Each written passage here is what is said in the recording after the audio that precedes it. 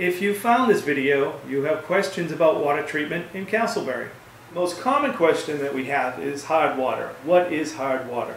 Basically, water is the ultimate solvent. So anything it's going to come in contact with, it's going to break down and it's going to end up basically in the water as a floating substance. Hard water is basically rock, stone, anything along those lines. Um, again, hard water is another thing that's very easily removed. We can remove it through any type of filtering system that we have, depending on which way you want to go. Hard water is probably the leading cause of problems in most homes because of the fact that it actually interferes with your hot water heater working, it interferes with your dishwasher.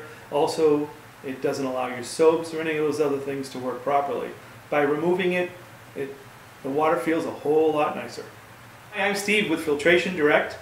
We are the only Angie's List Super Service Award recipient in the state of Florida. We'd like to thank you for visiting us, and if you have any questions, you can go to our website or give us a call. Thank you.